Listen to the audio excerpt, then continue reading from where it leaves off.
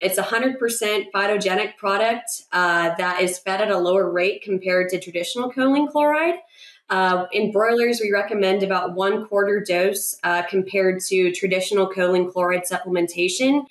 Um, and it also kind of solves maybe some of the handling uh, issues associated with traditional choline.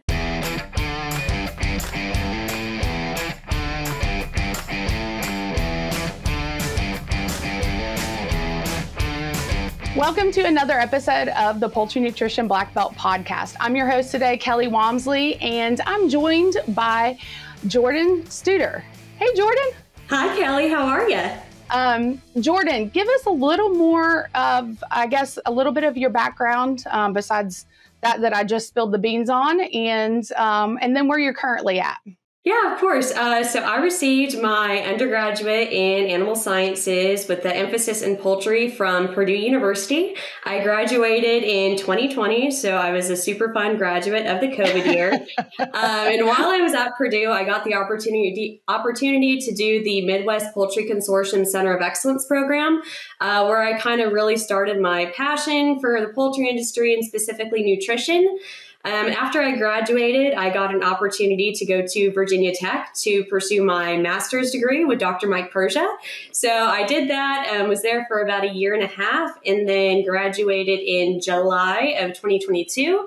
Um, from there, I went on to the industry, um, worked for a company called Orffa for a little under two years, and then made the switch to Barentz, where I am their technical service specialist and I will be there for a year coming up. Yeah, May 28th was my first official, was my start date. So coming up on a year. At Barentz, we're more than just another feed additive company. We are driven by science, innovation, and an understanding of the challenges you face in the ever changing world of animal agriculture. We are your trusted partner for new to market natural alternative to choline chloride, Choline Plus FC, as well as enzymes, prebiotics, probiotics, macro minerals. To learn more about our product offering, visit barentz-na.com forward slash animal nutrition. Together, there's always a better solution. Okay, so today we're going to talk about choline, right? Yes, ma'am. First, let's talk about what choline is and um, kind of why why we're including that in the diet. Yeah. So choline I feel like is kind of one of the overlooked semi-essential vitamins in poultry diets. Um, you know, it's not at the forefront of a lot of new research. It's kind of just something that we've always put into the diets. Um, but it does a ton of things in the body that are that's really important. Um, so when we feed choline, it really has three main endpoints that it's going to end up as. Um, so the first is acetylation. So choline can be uh, acetylated into acetylcholine, um, which is plays a large role in the nervous system. So it's one of the chief neurotransmitters in the body, um, and it really makes nerve impulses possible. Um, the second pathway is oxidation into betaine, um, which we might be a little bit more familiar with betaine as a standalone ingredient. Um, but betaine or choline gets oxidized to betaine in the liver, where betaine has three methyl groups that it can donate uh, to various different aspects in the body. Um, one of the main ones is converting homocysteine into methionine. Um, so betaine can donate its methyl groups to do that, and depending on the amount of uh, the amount of betaine or choline that you feed, you may be able to recycle some methionine and get a methionine credit. And then the third one, which is probably the most popular and plays the most roles in the body, is the phosphorylation into phosphatidylcholine.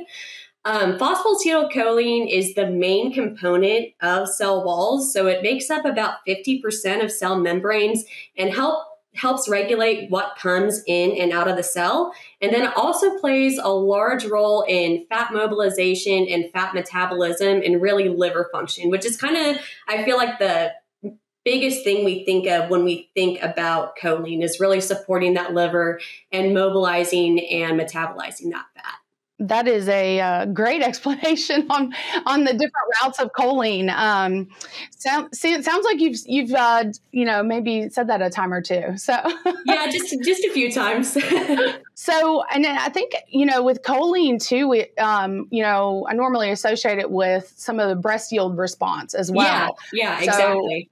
That's kind of with that third pathway in some ways of, of uh, uh, associated with that as well, right? Yeah, feeding like choline at higher amounts, probably around like two pounds per ton is what I've heard. You do get a response in, in breast meat yield. And then obviously, from a requirement standpoint, uh, making sure the bird is healthy, but also prevents perosis there are different ways that we can uh, include choline into the diet, right? Can you go over some of those sources and maybe um, what your company has been doing too um, to be able to kind of help bring that into the um, into formulation? Yeah. So one of the main sources of choline in your diet is going to be coming from your bulk feed ingredients. Um, soybean meal um, has a lot of choline just intrinsically in it in the form of phosphatidylcholine. Um, canola meal is another good source of uh, phosphatidylcholine, but we you know we really don't feed that in the U.S. due to availability um, and cost. And um, people have tried to, or people do uh, also use betaine kind of as that uh, second, not necessarily secondary source of choline, but fulfilling that uh, methyl donation pathway. Um, but when we feed betaine, you're only really kind of solving that one uh, component or one pathway of the choline pro- of the choline process, which is donating its methyl groups and oxidation. Um, but with Ber- what Barentz is coming out with now, um, we partnered with a company over in India to uh, to launch Choline Plus into the market. Um, it's a 100% phytogenic product uh, that is fed at a lower rate compared to traditional choline chloride. Uh, in broilers, we recommend about one quarter dose uh, compared to traditional choline chloride supplementation. Um, and it also kind of solves maybe some of the handling uh, issues associated with traditional choline. Um, choline chloride, especially in the dry form, tends to be really hygroscopic. Um, you know, uh, likes to gunk up and and you know form clumps, and that can lead to some potential feed mixing issues as well um, and kind of tends to be more corrosive in nature. So with this product, uh, because it is 100% plant based, um, it's not going to have those hygroscopic properties that choline chloride does. Um, it's going to you're going to be able to put it directly into a VTM. Um, so it's not going to degrade your vitamins or minerals. And, you know, vitamins and minerals are super expensive. So if you put them in a premix, you want to make sure that, um, you know, you get the values that you formulated for. Um, so this product, it, it, it does have a phosphatidylcholine source. So you're getting that choline requirement, but also the phytoactives in it um, have a lot of antioxidant and hepatoprotective properties.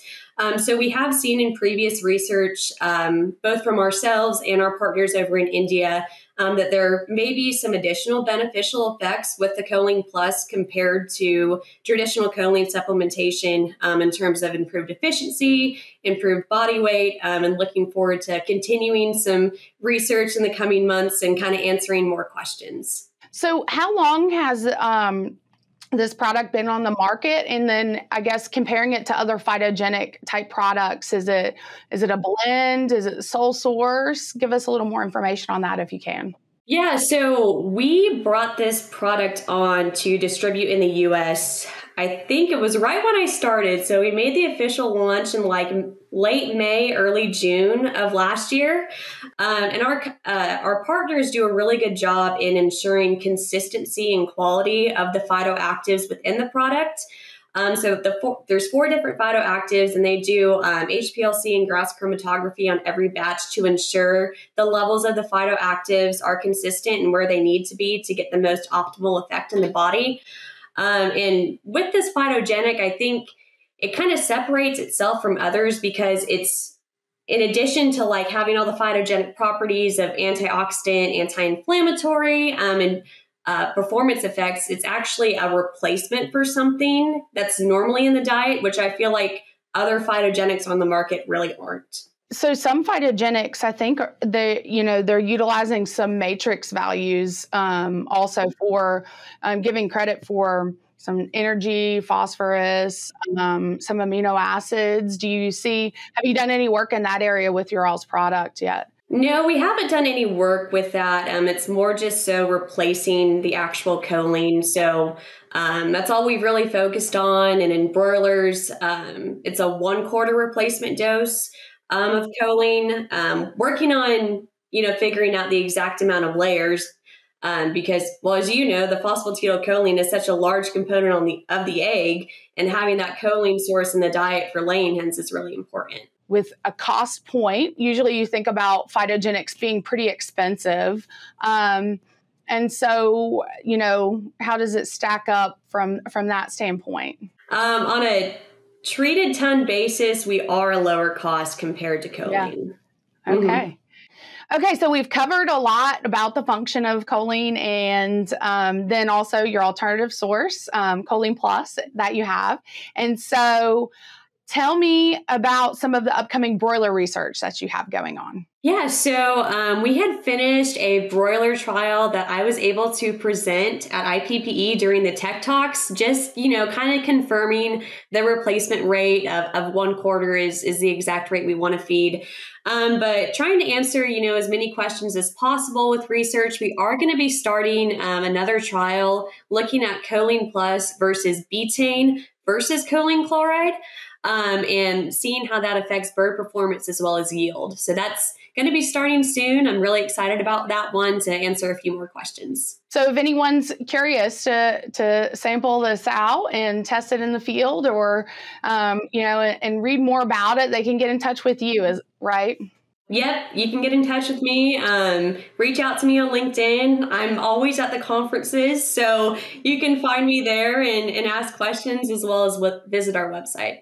I guess, is there anything else that you'd like to leave us with today? No, I think that, you know, it's been a really exciting product for me to work with. Uh, like I said, we kind of started ramping up and, lar- and launching it right when I came uh, on with Barentz.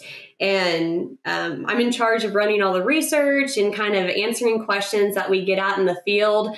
Um, so it's been a really fun and really kind of different product to work with that I'm really excited about and excited to see uh, where it goes. It's been a pleasure talking with you today, and uh, we appreciate uh, Barentz's support of this podcast as well. And so, um, I guess if any of your listeners out there want to, you know, learn more about choline and some choline alternatives, please give Jordyn Studer a, a call and uh, hit her up at the meetings and look for the research. All right. Thank, thanks, Kelly.